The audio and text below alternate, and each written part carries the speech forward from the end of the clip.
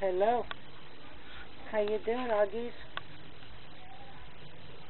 I'm out in the new cage. I'm the old cage, but I'm out on the porch. Outside. Here you hiding. What you doing? Come here.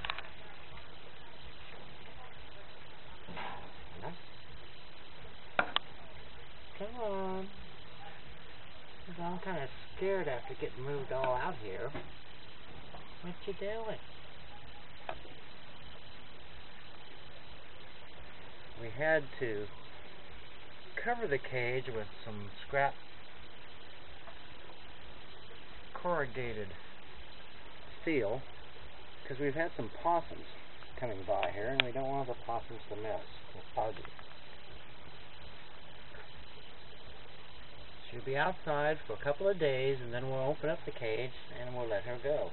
And she'll probably come back and forth a few times before she finally finds a mate and makes a nest on her own. Yeah, Auggie, how you doing? I'm kind of scared all this moving around. I was in the house. And now I'm outside.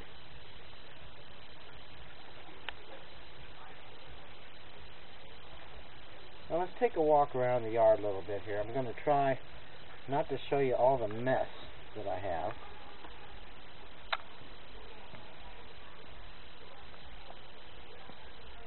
Here, of course, is the pup dog. Pound Puppy. How you doing, Pound Puppy? Yes, look at you. Aren't you just the cutest thing? And what Rose and I have been working on the last few days is a compound. But when we're not at home, can't keep in a crate. All this was recycled materials.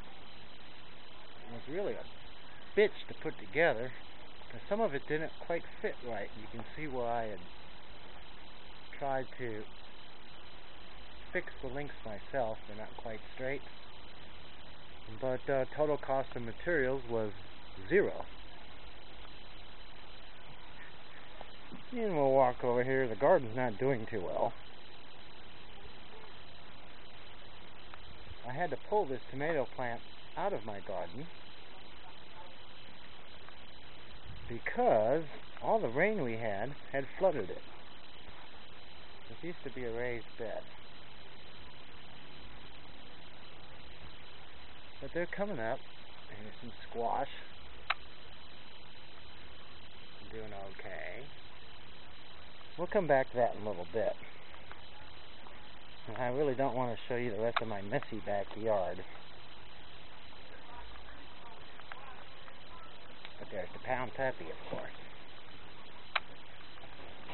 And back to Auggie's. Where you going? You're not hiding out anymore. I got me a nut.